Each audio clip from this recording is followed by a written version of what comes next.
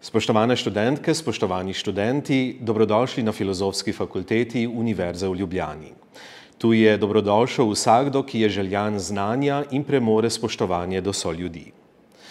Z dobrodošli mislim na fizični prostor fakultete, na Aškrčevo dve, na naše predavalnice, stole in mize, ki so jih uporabljale številne generacije pred vami.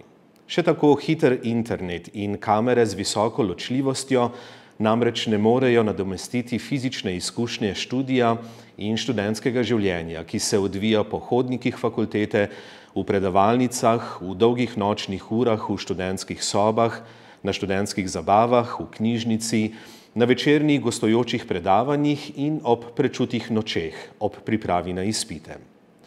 Čeprav se v naslednjem študijskem letu zaradi epidemije COVID-19 ne bomo mogli v celoti izogniti predavanjem prek spleta, smo se na Filozofski fakulteti jasno zauzeli za ohranitev študija v fizični obliki.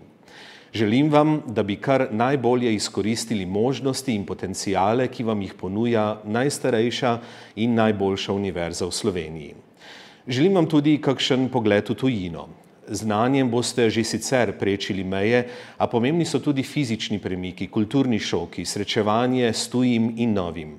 Ne ostanite samo zadostno zaprti v svoj domačijski svet.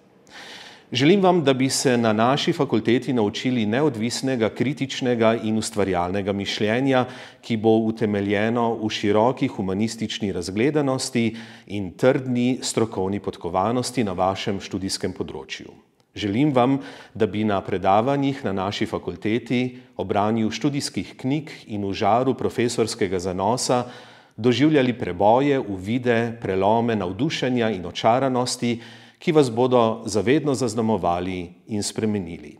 Srečno na vaši študijski poti.